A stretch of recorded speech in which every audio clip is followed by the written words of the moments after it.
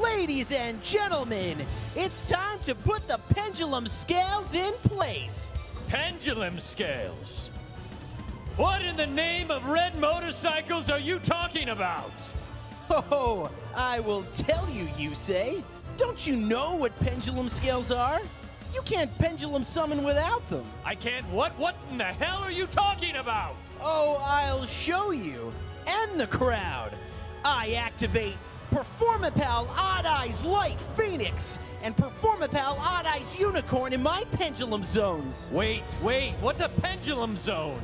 Pendulum zones are where pendulums go. What on earth are you talking about, man? I will tell you. Pendulum monsters are unique cards that are spells and monsters. They can be placed in a pendulum zone as a, as a spell card or summoned in the monster zone as a monster card. Okay, and what do they do? Each pendulum card has a separate effect depending on whether it's in the pendulum zone or the monster card zone. But most importantly, each pendulum card placed in one of my two pendulum zones gives me a pendulum scale.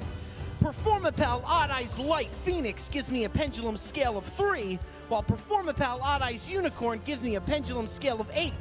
Now I can perform a pendulum summon.